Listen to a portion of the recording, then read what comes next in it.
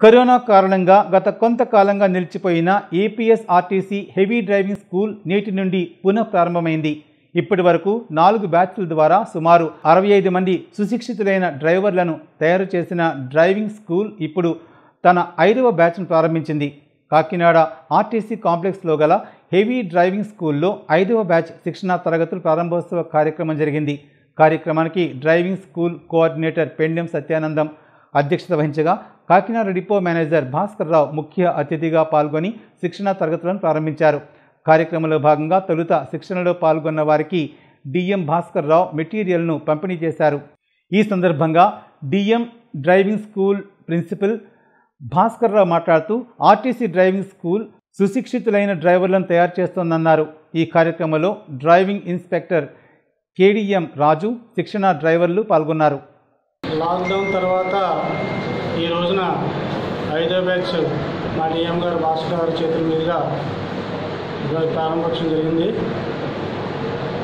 ఈ training already వీళ్ళు మూడు నెలల క్రితమే రిక్రూట్ అయ్యి ఉన్నారు.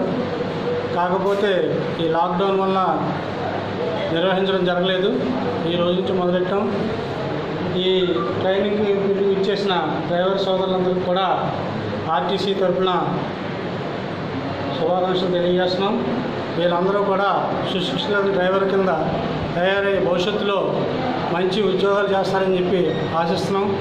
అలాగే మీ అందరి సహాయ సహకారాలతో ఏపీఎస్ఆర్టీసీ డ్రైవింగ్ స్కూలు అప్రధాతంగా ఐదో బ్యాచ్ రన్ అవుతుంది. ఆరో బ్యాచ్ కూడా అడ్మిషన్స్ జరుగుతున్నాయి. ఎవరన్నా అవకాశం ఉన్న వాళ్ళు వచ్చి జాయిన్ అయ్యి ఈ గవర్నమెంట్ సంస్థని ముందుకెళ్ళడానికి సహకరిస్తానని ఆశిస్తున్నాను అందరికీ నమస్కారం అండి.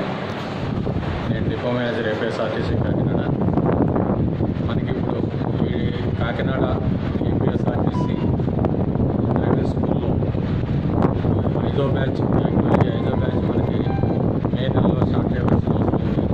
సారీ ఏప్రిల్ నెలలో స్టార్ట్ చేయవలసిన ఏప్రిల్ మే నెల మే నెలలో స్టార్ట్ చేయవలసిన అవసరం ఉంది. కాకపోతే ఈ కోవిడ్ లాక్డౌన్ ఈ పరిస్థితుల దృష్ట్యా మరి వాయిదా వేయడం అయింది మరి ఈ రోజు నుంచి ప్లస్ బ్యాచ్ క్లాసులు స్టార్ట్ అవుతున్నాయి. అంటే మనకి ఇప్పటివరకు నాలుగు బ్యాచ్లు కంప్లీట్ అయినాయి. నాలుగు పదహారుల నాలుగు పదహారుల అరవై నాలుగు మంది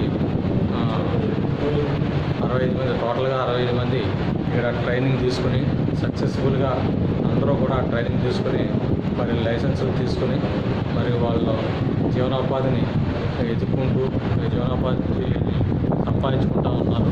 మరి అలాగే ఈ బ్యాచ్ కూడా మరి సక్సెస్ జాగ్రత్తగా మీ ట్రైనింగ్ కంప్లీట్ చేసుకుని మరి మీ యొక్క లైసెన్స్ ఏమి లైసెన్స్ పొంది మరి మీరు